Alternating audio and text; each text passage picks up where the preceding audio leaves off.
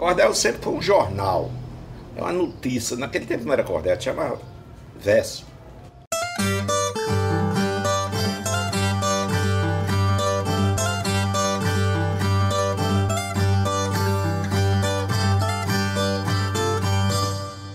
Minha história, minha vida poética, eu comecei aos oito anos.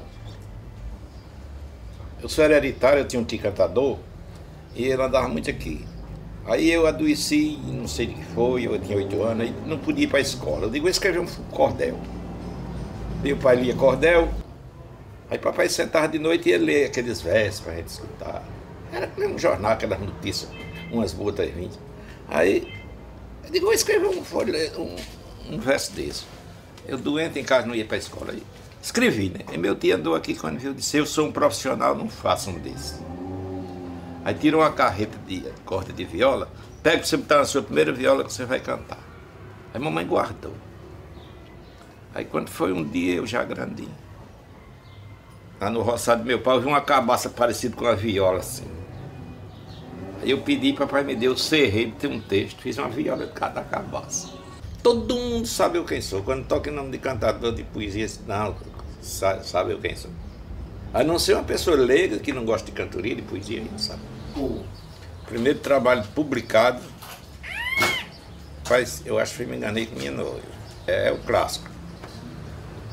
Eu tive, eu tive o privilégio de botar dois clássicos na, na praça. Me enganei com minha noiva e Carta Papai Noel. São dois clássicos. Porque de primeiro, era, eles faziam uns, folhetos de 32 páginas, 36, contando aquele romance mesmo, aquelas histórias, né?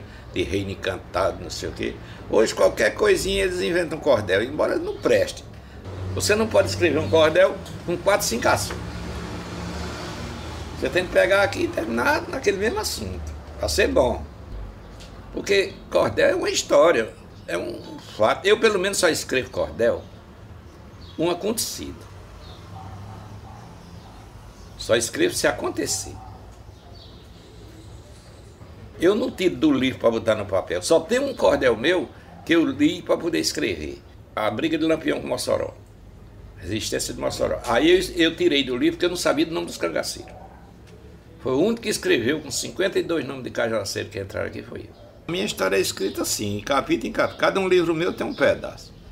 Desde de 63 eu não faço outra coisa, não ser poesia. É minha vida.